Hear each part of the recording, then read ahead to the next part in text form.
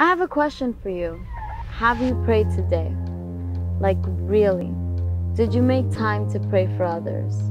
I say enough of this love and light bullshit, and let's really ground down. Let's be intentional with our energy.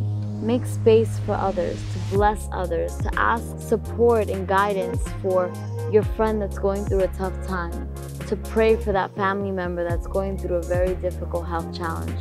Have you prayed today? Have you intentionally prayed for others? And the more we can do that, the more we can make that a daily habit, a daily practice, the more we open up our world and our energy to be intentional and to be of love and support, of real light and love for others. Have you prayed today?